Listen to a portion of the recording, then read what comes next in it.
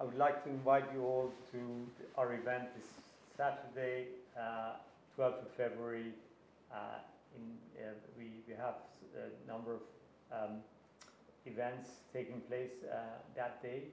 We're showcasing uh, um, some of our previous artists as well as our resident uh, artist, uh, Firuz Farman Parmayan, who's doing Gate of Turan, Turan at the Venice Biennale. Uh, all of this has been made possible by the kind support of SGA Global Investment, who, uh, who've, um, who've been supporting us throughout. And um, if you'd like to join in, you're, you're all welcome. Please RSVP to our address below, uh, and hope to see you there.